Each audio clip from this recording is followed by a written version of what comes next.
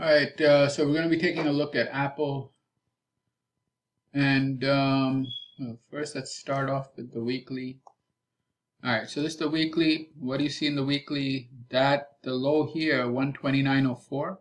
The weekly low. This is no, you know, uh, hourly low. This is a weekly low, right? So this is really important low, and um, we'll see how it's handled. Is it going to break down? Is it going to spring? Or is it not even going to touch it and just uh, go back to 140, which is very likely to occur. That's the breakdown on the daily chart.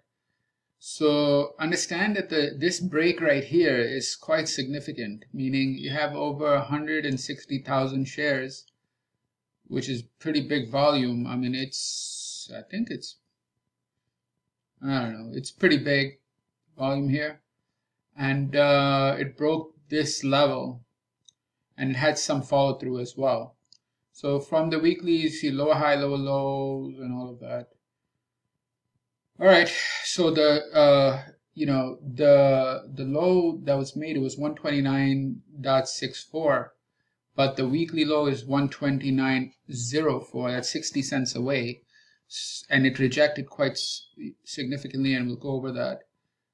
And the other level is 140 or 140.01 or just 140. All right let's put this away and move to the daily. So for the daily, you can very clearly see the 140, was a 140 or one level right there.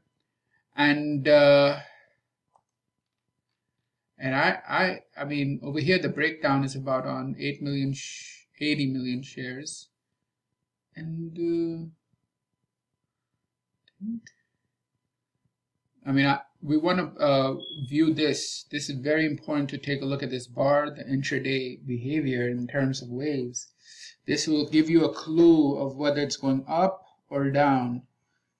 So that's what I'm going to do now. Alright, so this is Apple, again, 140, or is the support break, and the weekly low is 129.04. So now we'll take a look at the intraday. So on the intraday, we'll start with the 15 minute, right? And I'll show what this thing did. First, let's get rid of, I'll leave the profile. All right, so we're swinging down, right? This is what I explained was the springboard, and it worked quite nicely in that you had this springboard test, test, whatever, this uh, final spring, of this area. As soon as it goes into spring positions, you should want to really get ready for it because typically there's, I think, two or three key scenarios. Either it's going to rally from the spring or it's going to what? It's going to have a test of the spring and then rally or it's going to spring the spring. These are the three situations that typically happen. Once you have a spring, either it's going to rally, either it's going to test this uh, spring and then go with a with a test inside the spring, or the third thing is makes one more spring and then goes. So this this I explained uh, was quite telling because it wasn't rocket science. It's just as it's moving down, you have the climax, right? Right here, the biggest wave in 49 waves. What happens after that? V bottom shakeout that goes up. What happened? Rally down, rally up. That sets up the V bottom with the breakout bar right there. And on the biggest uh, biggest wave in nine waves. So I knew it's to go. It's to go up. Right? So then pull back and it held and then held then went into spring position and you know what happens. After that, the rally confirmed the spring. Again, the rally, there's no ordinary rally. This is spring breakout rally right? So spring, breakout green bar rally, and that set up that nice big, uh, not big move, but on an intraday basis, it is a pretty big move. So that's what happened. So this level, there's someone buying at this level, and um, it went up here. Oh, this was, I don't know what that was. It was some other level somewhere else. So I think it had to do with this volume area, this POC. There's some level of POC or whatever over here because there's a lot of volume buildup over here. All right, now after that, it puked. As you know, the market puked. Why? You have the selling wave, the selling wave. Now, the, the interesting part is, you see this low here? I don't know what it is, 129 something. It got taken by this, right? But, but don't think it's bearish because it rejected it. All right, and the, the behavior before it, as soon as it came down into this prior springboard, this smaller scale springboard, what do you, what happened? You had the biggest volume in 28 waves.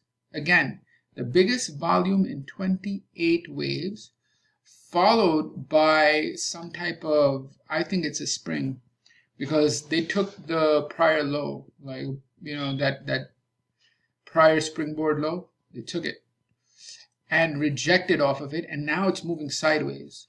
So what that is telling me is that this is a potential um, COB that right there is a stop run or spring. This is a stop run or spring whatever same thing. It will shake out rejection, and now it's consolidating. You see the consolidation and look at the volume. 5, 2, 2, 1, 6.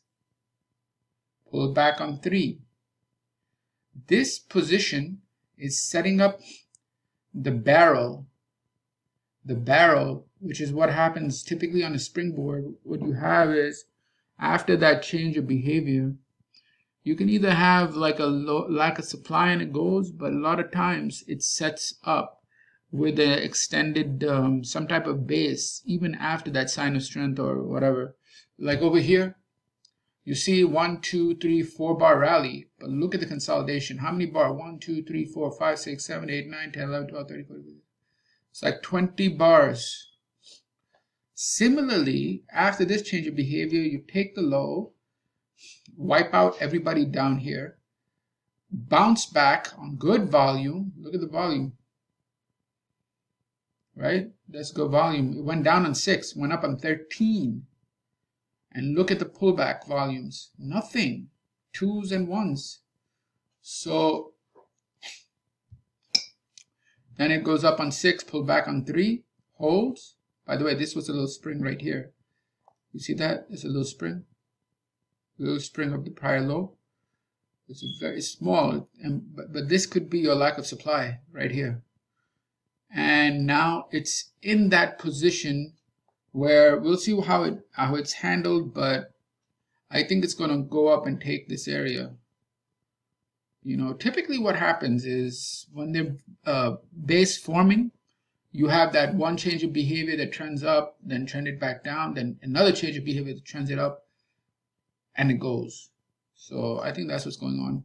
And this is common, like you have bullish action on the left side and the right side, and that's basically your point figure on the left with a little, you know, a little up move and then come back to set up the rest of the base of the point figure, right? Okay, so the other thing is that here, the level here is 140, and you know, as I explained the prior chart, that was the breakdown, right? And the breakdown on the dailies from the 140 level. So now, now what you want to do is see if you have enough cause because you want to see how much cause is there to push the move, right? To see how far it can go. So I'm going to take a look at this. Oh, shit. Anyway, uh, I'm always doing uh, anyway so just look at the 131 level that line of accumulation has nine points what is nine points plus 131 it's 140 so you have nine points across the 131 level and that projects to the 140 breakdown area on the daily on Apple. So we'll see how all of this is handled. I have to check a couple of other things. Um, because there's overhead resistance right here. You see this supply right here where where it was, it was it's not a small amount of supply. And there's this uh, minor distribution here if you see it, I'll show you the minor distribution is right there. See this? That's your minor distribution, which forced the market back down. But this is that there's something going on here as well. On this barrel on the right hand side with a test, test, test, test, and another test. One, two, three, four, and five. So they're ready to take these guys. We'll see if, what happens, but um, you can really see it's building. All right, so 131, you have a nine point cause, which can project 140, but they have to get through this minor distribution here at this uh, 135 area and um, get above the week prior week low. And then we'll, we'll see if they get up above 136, then, you know, 140 can easily be, not easily, but it should project to that area. And that's the daily support break. So that would be the, the break and test on a daily chart. Right, so that's the idea. So what are the next steps? Next steps is see what happens on the open on Monday and uh, how this thing holds and whether it breaks down or not. If it breaks down, all bets are off because the 129 weekly level is in play. If it holds and it and it it makes that higher high above this level right here. I forgot what this is. 133.40. Then, then the it's bullish because it has to take out this high.